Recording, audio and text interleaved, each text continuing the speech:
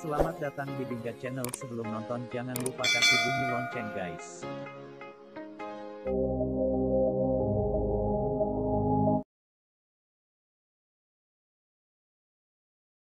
Papua nomor 1 News Portal. Babak pertama, 2 menit 2 gol, Persewar sementara unggul 2 sampai 0 atas Kalteng Putra. Jayapura, Jubi, Persewar Waropen sementara unggul 2 sampai 0 di babak pertama atas Kalteng Putra dalam laga kedua mereka di kompetisi Liga 2 musim 2022 per 2023 yang berlangsung di Stadion Mandala Kota Jayapura, Minggu, tanggal 4 September tahun 2022. Tim berjulukan Mutiara Bakau tampil dominan sejak menit awal dengan mengandalkan strategi pressure atau menekan tinggi pergerakan lawan. Persewar pun tampil mendominasi di area tengah pertandingan. Permainan yang ngotot berhasil membuahkan hasil dan menghadirkan gol bagi Persewar. Gol pembuka tercipta di menit ke-13 melalui sundulan kepala Yudhistira Mambrasar yang memanfaatkan umpan dari tendangan sudut.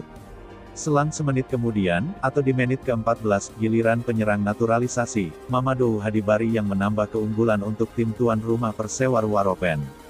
Skuad besutan Edward Tifak dalam itu pun menutup pertarungan di babak pertama dengan kemenangan 2-0. Sebelumnya, asisten pelatih Persewar Agam Haris Pambudi yang mewakili pelatih kepala Edward Tifak dalam mengatakan timnya hanya mengincar kemenangan di laga kontra Kalteng dan tak peduli berapapun gol yang akan dicetak oleh timnya.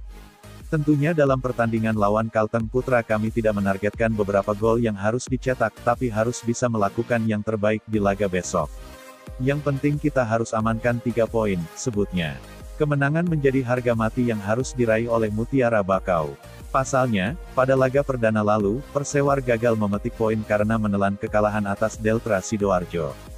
Sebaliknya, Kalteng Putra juga tak mau pulang dari lawatan di Papua dengan tanpa membawa poin. Pemain asli Papua yang memperkuat Kalteng Putra, Marcel Kararbo optimistis dan menyebut timnya dalam kondisi siap 100%. Sebagai tim tamu, mereka tak mau datang jauh-jauh tanpa membawa pulang poin. Kami datang di sini untuk meladeni Persewar dan kami akan buat yang terbaik untuk Kalteng Putra, karena kami sudah datang dari jauh dan kami ingin rebut poin, kata Kararbo.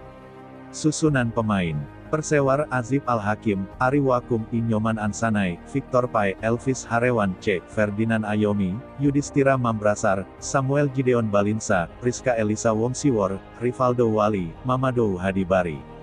Kalteng Putra, Alexander, Heri Susilo, C. Fajri Ardiansyah, Dion Mefahmi, Jimmy Julianus Aronggear, Muhammad Farhan Rahman, Giovanni, Octavianus Karisago, Anindito Wahyu, Marcel Kararbo, Mario Aibekok.